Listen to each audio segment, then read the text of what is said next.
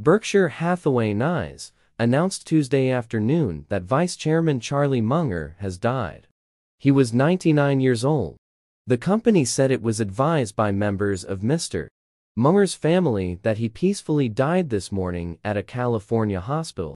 Berkshire Hathaway could not have been built to its present status. Without Charlie's inspiration, wisdom, and participation, Warren Buffett, CEO of Berkshire Hathaway, said. Munger was long considered Mr.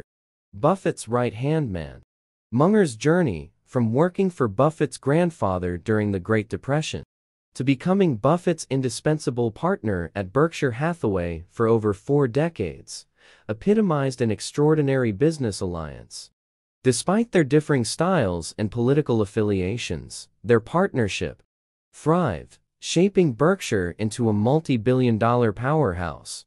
Known for his acerbic wit and blunt insights, Munger, affectionately called Charlie, complemented Buffett's optimism with sharp observations on investing and human nature. Their union, originating in 1975 at Berkshire, redefined investment strategies.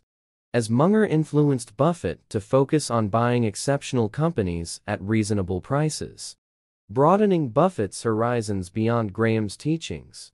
Dubbed the Oracle of Pasadena by his admirers, Munger's wisdom was shared at Berkshire's annual meetings and through his investment ventures, leaving a legacy not just in finance, but also in philanthropy, modest living, and a profound skepticism of fleeting trends like social media, cryptocurrencies, and artificial intelligence. Munger's death is also a reminder to investors that Buffett is 93 years old.